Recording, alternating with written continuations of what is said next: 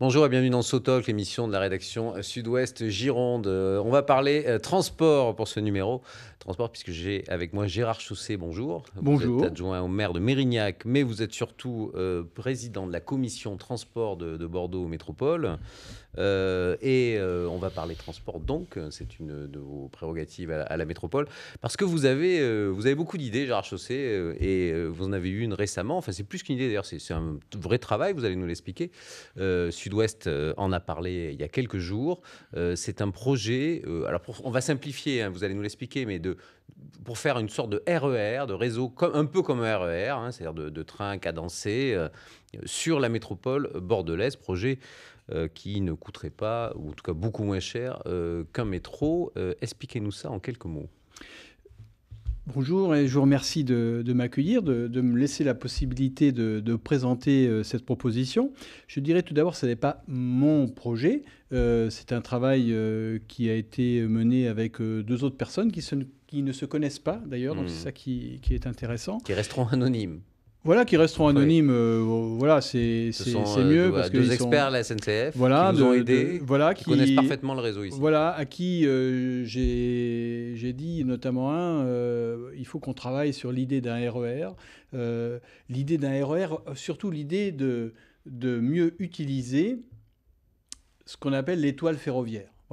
Le réseau euh, ferré. Alors, Existants. existant, ce n'est pas Voilà, nouveau. il y a des lignes voilà, aujourd'hui. Voilà, ce n'est pas nouveau, on en parle depuis euh, longtemps. Oui, c'est pas, a- une- voilà, c'est pas, c'est pas révolutionnaire ce que vous présentez. Non, hein, il y on a en parle depuis il y a- longtemps. Il y a, eu des débats, il y avait il y a 20 ans, différents partis les, Voilà. ont, les, ont, les ont portés, La ligne de des élus communistes, des élus, des élus régulièrement. écologistes, je- euh, je- des élus de gauche et de droite Voilà, ont tout porté ça. cette idée. hein. Y a, cette idée, elle est, elle est en germe. Il y a même actuellement Mm. mené conjointement par Bordeaux Métropole et euh, région une étude, euh, sûrement qui euh, amènera des choses très abouties sur euh, ce sujet. Moi, ma, réflexion est la suivante, c'est de dire, on a une infrastructure et selon ce qu'on me dit, parce que évidemment, moi je ne suis pas euh, Mm. agent de la SNCF ou expert euh, ferroviaire, mais euh, d'autres personnes le disent d'ailleurs, comme Gilles Savary notamment, mais d'autres. Gilles Savary, ex-député qui est expert Voilà. en transport. ce, ce qu'on me dit, ce qu'on nous dit, c'est que cette infrastructure, il y a de la marge, il y a des possibilités, il y a la possibilité surtout d'utiliser au mieux ce réseau. On a et surtout. Alors ce réseau, on va le voir d'ailleurs, hein, pendant que vous voilà, parlez. Ce, ce- ce travail qui a été mené met en avant une carte où on s'aperçoit qu'il y a 18 gares, sur, y compris la gare Saint-Jean, euh, alors 16 gares plus Mhm. 2 qui vont venir, on a 18 gares ou 18 haltes ferroviaires qui sur- existe déjà pour une grande part d'entre elles. hein, ah, qui, qui existent, sauf deux qui vont euh, venir bientôt. Euh, Qui et sont- puis la Qui Médoquine, sont euh, deux qui vont venir, qui sont c'est Bousca Sainte-Germaine notamment, Mhm. et puis la Médoquine qui est Oui, fermée. à Talence. à Talence. Donc, lorsqu'on regarde cette carte, on voit qu'ils sont, bah, ça, ça couvre quasiment l'ensemble de l'agglomération, Mhm. et surtout, on a une infrastructure en site propre bah, que l'on connaît, où il y a des TER, des TGV, des trains de marchandises Mhm. qui circulent. Mhm.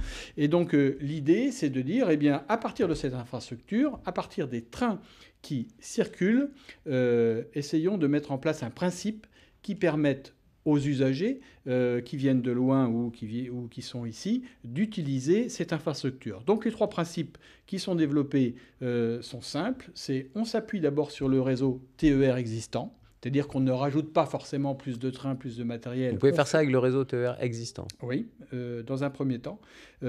Et surtout, on ne fait plus de terminus à la gare de Bordeaux.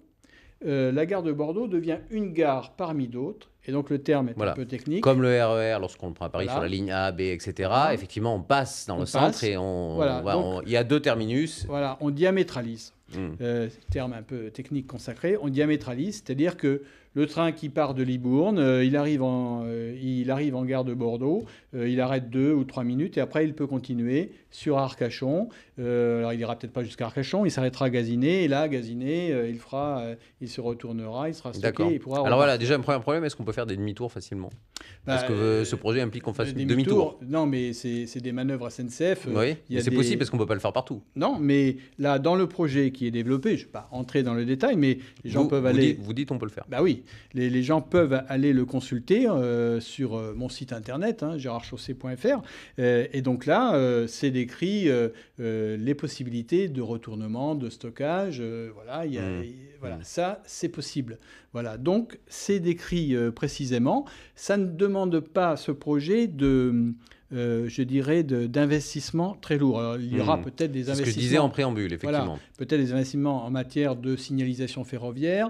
Voilà. Alors après, on pourra toujours faire quelque chose de plus abouti. Alors, mais là aujourd'hui, c'est de partir de l'existant. D'accord, mais excusez-moi, parce que par rapport à la situation actuelle, pour l'instant, vous nous dites simplement, euh, en gros, on s'arrête plus, enfin, c'est plus le terminus, la gare de Bordeaux, mais c'est pas suffisant.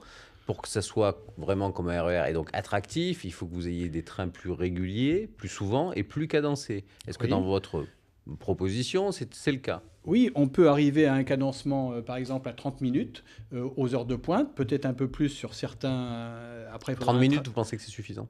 Ah bah déjà, c'est mieux que D'accord. c'est mieux que si C'est mieux que toutes les heures, on est bah, d'accord. c'est mais- mieux que toutes les heures et surtout l'idée c'est de s'arrêter à toutes les Alors, gares. Vous, vous arrivez hein. à un cadencement toutes les 30 minutes sans peut- acheter de matériel? Non, on peut, on peut arriver à ce, à ce dispositif-là au- en heure de pointe le matin sans acheter de matériel sur la proposition qui est faite. Voilà. D'accord. voilà. Alors, D'accord. Et si on achète du matériel, on imagine qu'effectivement on pourrait. Oui, alors- est-ce que ça serait possible d'aller jusqu'à Alors, toutes les après, 15 minutes, qui euh, serait quand alors, même effectivement après, des on horaires plus- on peut avoir euh, peut-être avec une peut-être Sur en, mieux lignes. utilisant en utilisant mieux euh, si vous voulez euh, les rotations euh, peut-être euh, en, en étant plus fin on pourra peut-être descendre au quart d'heure sur euh, par Certaines exemple sur lignes. euh, sur euh, un axe Libourne-Arcachon puisqu'il y a déjà euh, pas Mhm. mal de, de trains mais après on est limité aussi par la fameuse tranchée de Talence euh, où on ne peut pas ajouter énormément euh, énormément de trains mais euh, surtout euh, ce qui est mis en avant dans cette étude, c'est de dire euh, on a quand même des sillons.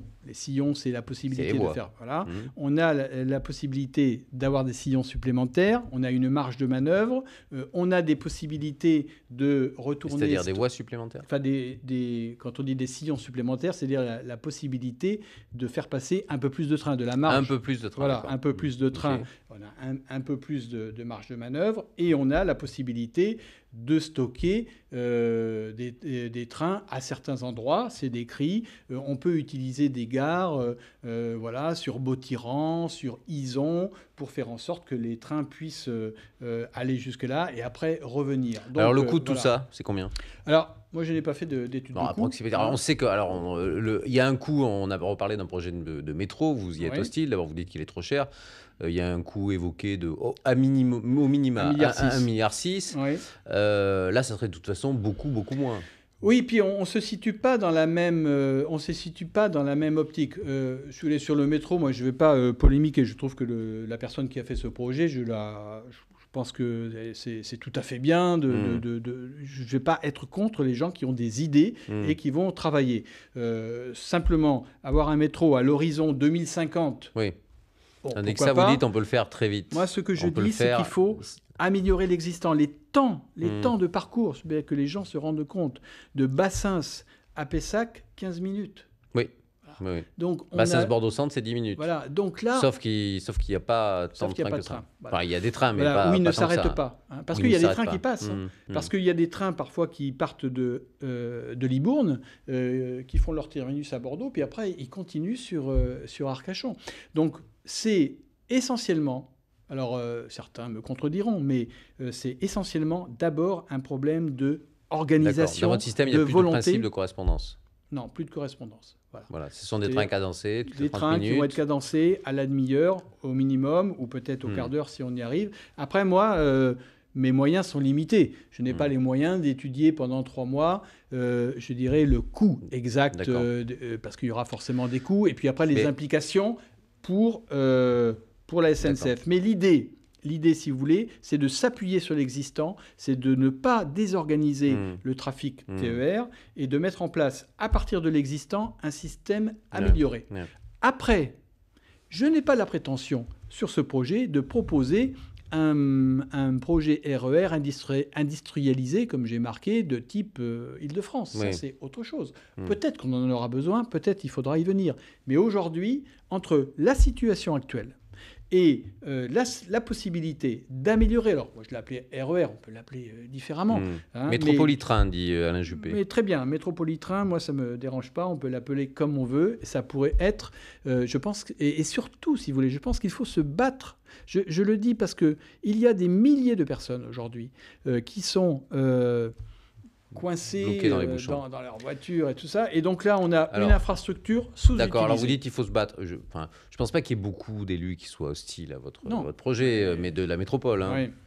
Euh, la question maintenant, c'est de convaincre euh, effectivement la région, qui est un, acteur essentiel, puisque c'est elle qui, fait rouler les, euh, les, TER, qui les gère, les trains express régionaux, et la SNCF, évidemment, les deux acteurs essentiels. Donc c'est eux qu'il faut convaincre aujourd'hui. Oui, bien sûr. S'ils si, ne sont pas dans la boucle, ça ne marche pas. Bah, alors, la région, bon, je sais qu'il y a une étude aujourd'hui, il va y avoir un comité de pilotage. Alors, je ne connais pas le niveau, si vous voulez, d'études par rapport à, ma proposition. Mais non, mais c'est pas la première chose à faire, c'est pas d'aller voir la région. Et eh ben, euh, ça a déjà été fait et, je pense que ça, va être fait puisque l'idée, si vous voulez, souvent le problème dans ce genre de dossier, c'est que hum, on est très ambitieux et qu'on tombe vite euh, vers dans la technocratie ou dans des problèmes financiers insurmontables. Hmm. Moi, ce que je dis ici, euh, et je le dis, ça, ça a été vérifié, c'est que il faut partir, il faut être simple.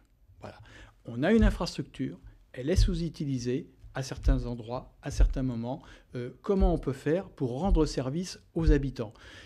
Je ne suis pas le seul à le dire d'ailleurs parce que j'ai trouvé sur Internet, il y a un site, euh, un website qui s'appelle euh, Transport Rail, un website, et qui reprend, alors de façon plus fouillée, parce qu'il a, a une autre démarche, mais qui reprend un certain nombre des propositions. Donc si vous voulez, ne disons pas que ce n'est pas impossible euh, à faire. Je pense qu'on a la, possibilité, et donc il faut une volonté politique. Moi, je compte sur euh, la métropole, sur Alain Juppé, mais sur les autres élus, évidemment, pour porter ce premier pas. Voilà, je mmh, suis, moi, mmh. pour euh, parfois la politique des petits pas. Donc c'est extrêmement important. Un premier pas qui pourrait se faire en 2-3 ans Moi, Je pense qu'un horizon de 2-3 ans doit pouvoir être possible, parce que c'est euh, des horaires à recaler au niveau de la mmh, SNCF. Mmh. C'est euh, bien sûr un mode. De, des investissements euh, dans des gares quand même? bah, oui, alors on a le problème de la Médoquine, mais ce projet, même sans la Médoquine, il peut marcher. Mmh, hein. Moi, je préfère qu'il y ait la Médoquine, bien sûr. c'est un, point Médoquine important. à Talence, hein, je Voilà, la, Médoquine, la Médoquine de Talence, où il y a là des investissements à faire sur les quais, notamment sur la ligne Arcachon. voilà, mais je pense que franchement, euh, sincèrement, vous me disiez que j'avais euh, un certain nombre d'idées. En tout cas, euh, là, je ne veux pas m'approprier l'idée de dire voilà, non, c'est pas le projet. Non, chaussée, bien, c'est pas, hein. c'est pas la première fois qu'on en parle. Hein. Voilà, c'est pas le projet chaussée, c'est un projet de la métropole. Enfin, c'est un projet de, de, à mon avis, de l'ensemble des citoyens qui doit être portée et je pense qu'il faut que les gens se mobilisent. Euh, j'ai eu le président de la FNOT, euh, Christian Boucaré, euh, nationale des voilà, usagers transport. Voilà, qui bien sûr est tout à fait en phase avec ce projet. Donc voilà, je pense qu'il faut y ait une forte pression sur... Bah, et, l'idée, c'est de dire bah, la, les collectivités ont cette possibilité mmh. à leur disposition Pensons-y. Très bien, Gérard Chausset. Merci. Deux petites questions politiques pour finir. Vous étiez écologiste, vous êtes passé à la République En Marche. Je suis toujours écologiste. Vous êtes, toujours, vous êtes quand même passé à la République En Marche. Oui. On est bien d'accord. Oui. oui. vous êtes écologiste, vous étiez au Parti euh, Vert, je veux dire. Voilà. Euh, vous êtes passé à la République En Marche. Vous êtes euh, content aujourd'hui de ce choix? Ah, il, y a, il, y a, une forme de déception d'un peu de ce nombre de gens? Oui, je ne regrette pas d'avoir fait le choix, d'abord, j'ai quitté euh, Europe Écologie Les Verts parce que euh, je ne me retrouvais plus, non pas dans les idées écologistes, mais dans la façon de porter l'écologie. Mmh. Ça, c'est euh, le premier point. Le bilan que j'ai fait, si vous voulez, c'est que l'écologie doit être, si on veut que la transition écologique, écologique se mette en œuvre, il faut qu'elle soit portée par une large... D'accord. Et la façon dont, la, la, République En Marche la porte alors aujourd'hui, la façon et le président et le gouvernement, ça vous convient? Euh, pas totalement. Ça convient pas à Nicolas Hulot. Non, non, mais je pense que Nicolas Hulot a, a eu, euh, je, je, dirais, alors ça va peut-être faire rire, a eu euh, raison et tort en même temps. Raison parce que je pense que il y a parfois des moments symboliques forts qu'il faut mettre en avant, et puis aussi euh, quand je dis la, la politique des petits pas, la transition écologique, ça va mettre du temps. Euh, convaincre des gens qui sont bien dans leur vie, qui, sont, mmh. qui n'ont pas de soucis, c'est facile. En revanche, associer le plus largement possible euh, des personnes qui ont parfois des difficultés, les convaincre qu'il faut changer des comportements, qu'il va falloir euh, peut-être euh, changer des comportements, mais parfois gagner un peu moins, parfois payer plus cher certaines mmh. choses. changer de modèle de société, ça va prendre du temps. Et donc là, bah, là je, je, suis un peu déçu qu'il soit, qu'il soit parti. Et en revanche, bah, j'attends de, de, François de Rugy. Je suis aujourd'hui dans l'attente de voir un petit peu comment ça va se passer. C'est quasiment fini, donc vous, vous pouvez juste répondre oui ou non à cette dernière question. Est-ce que vous serez candidat à la mairie de Mérignac sous l'étiquette La République En Marche? Euh, pour, le moment, euh, bah, pour le moment, je vous dis ni oui ni non. Ni oui ni non. D'accord, c'est possible, mais vous savez pas. Oui, parce que pour le moment, je n'ai pas pris ma décision. D'abord, est-ce que je serai candidat? Ça, c'est la première chose, parce que c'est une décision personnelle mm. et euh, pour le moment, ce n'est pas du tout à l'ordre du jour. Il y a encore un peu de temps et donc. Vous ne fermez pas la porte non, mais je, vous savez, j'ai été candidat en 95. Oui. Donc, euh, à, chaque élection, la, à chaque élection, la question se pose. Donc, euh, ce n'est pas nouveau. Merci, Gérard Chaussé. Voilà, c'est terminé pour ce So Talk. On se retrouve la semaine prochaine.